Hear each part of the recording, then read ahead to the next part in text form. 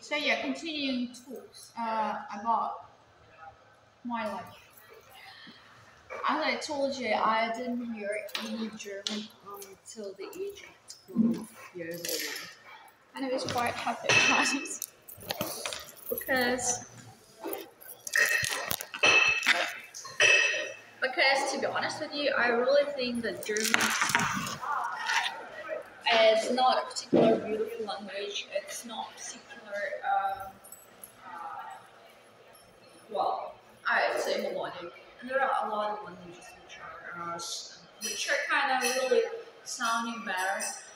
And um, for the first time, I realized it could be it could be sounding beautiful I can speak German only the age of 17 because all of a sudden, just by an accident, I heard some German tourists picking up from the train on the central station of Grodno and uh, it was really sounding like a little bit like English.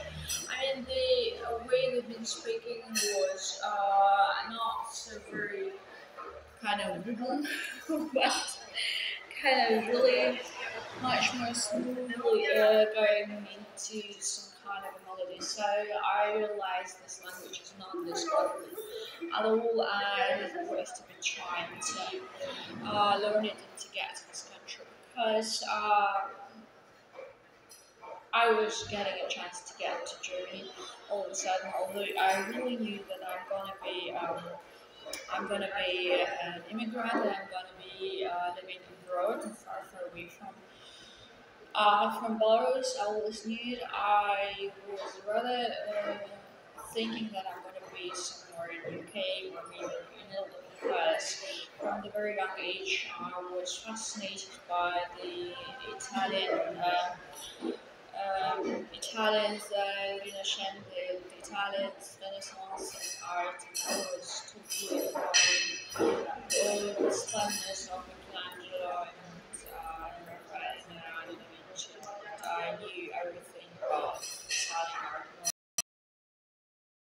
more or less. Years and years um, by the Italian um, art and um, art sales by Italian um, life. So I really thought for a long time I'm going to be ending up somewhere in Italy or England because uh, English literature was really one which I was learning.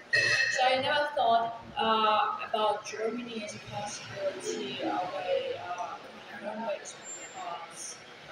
well, I was totally not fond of German history. I think the fact that this country was uh, facing world wars twice is a very poor factor and something really uh, telling me that the word that the Soviet nation is quite uh, poor and aggressive and violent, which is uh, really very um, going in contrast with my perspectives in life. Yeah, so I was quite hating German and German city, to, be, to, to put it mildly and I was doing everything to escape every German lesson in my school and my music college. So literally, I became a kind of playwright or storyteller, mainly because I really, really wanted to escape German lessons because I thought uh, this language is so horrible.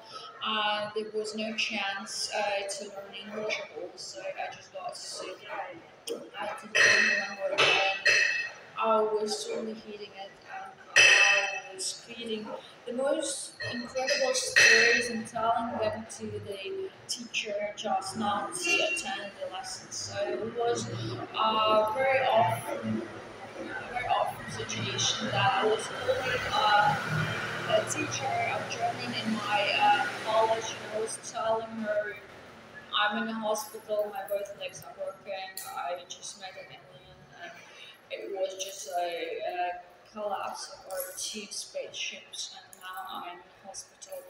And just right now, I'm uh, at the surgery, and I cannot attend your German lesson today. I'm very sorry. See you next week, Miss so and so.